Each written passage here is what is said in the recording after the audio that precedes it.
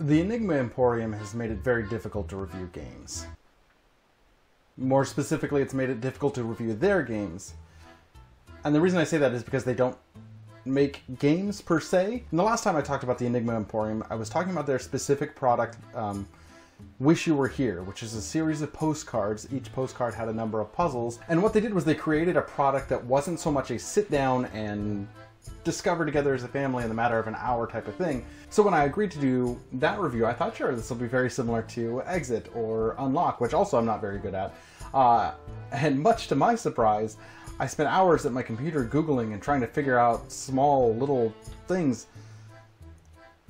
And that's when it clicked what the Enigma Emporium was trying to do. They were trying to create an experience that couldn't be contained within the scope of an hour. It couldn't be contained to the tabletop.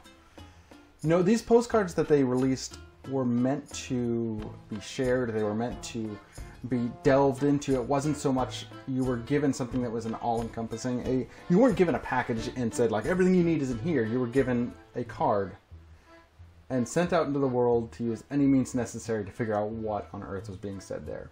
It was it, it my head I thought my head was going to explode. So when they contacted me about doing a review for their next product, I was immediately enamored.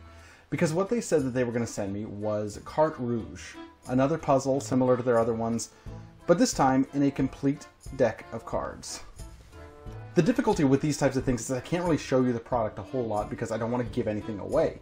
Uh, but it is a complete deck of cards, uh, including jokers and a sort of welcome instruction card here that is just chock full of puzzles. And because because I can't really show you much, this is going to be much more of sort of a vlog review. Yes, I stated, it is a deck of cards, and with the deck of cards you were given a minimal amount of instructions. You have access to Enigma Emporium's usual clue system available on their website, but other than that you're handed this deck of cards, and you're not even told where the puzzles are.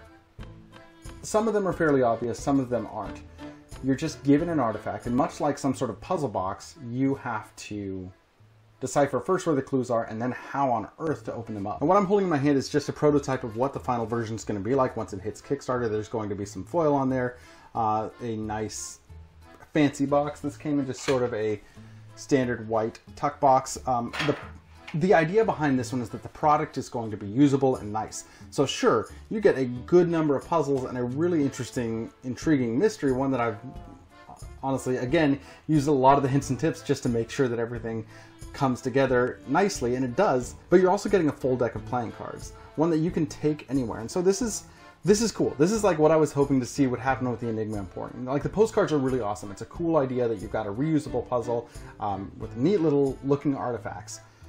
But a deck of playing cards is far more tangible, far more useful, and a really great idea for this type of product, which is really cool because, I mean, even in the board game community, we're seeing a resurgence of some of the more popular older standard playing card games, and all of those are available right here in this deck of cards, uh, as well as a huge number of puzzles and one big encompassing mystery. It's the type of thing that would be a really, really cool gift or just a really cool thing to truck around with you. Let's not even get into the fact of how just crazy I must have looked to my coworkers who first asked if I was playing solitaire at the at the break room table, uh, only to find me with a notebook open with uh, chicken scratch scrawled in there about what possibly could be on each one of these cards. You know, creating my own little ciphers, my own little uh, ideas and clues on what might be encompassed on these playing cards. And not only that, it, it extended to my home life. I'm, I'm home. I'm could be spending time with my family, and I'm there at the table with my phone out, my computer open, trying to figure out what on earth could the Enigma Emporium be be insinuating at? What is this storyline? And there is, there's a storyline involved with this and you get so sucked into it that it's all engrossing and all encompassing.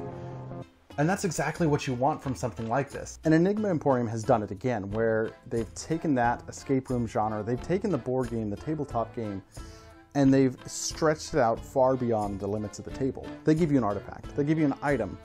They don't say sit down and solve every single one of its puzzles right here at the table. No, they give it to you, and you're told to figure it out the puzzles are incredibly difficult, especially for someone like me that uh, enjoys this type of thing but has my hard time has a hard time wrapping my head around it. You have to use At least again, in my case, you have to use a computer. You have to Google. You have to figure out what on earth could some of these symbols mean. Maybe there's certain ciphers you, if you can figure out the name of, you can then crack uh, a code on the cards. It's almost more of a live action role playing game in the sense that you're given an object and you're you're just in real life in real time uh, as you go about your day. As the days turn into weeks, turn into months, you still have this, and you are in no time rush to get this completed. It's as if you found this in your grandfather's attic. And you know that it holds some sort of secret, but you don't entirely know what that is. Some of them are easier than others, and some, I mean, some, at least one of them is very easy. And when you get that nugget of information, when you get that that that aha moment, it's awesome. It's exhilarating. But then when you get uh, four or five hours of just nothing and blank stares down at the cards, um, it can be a little bit frustrating. So know that going in.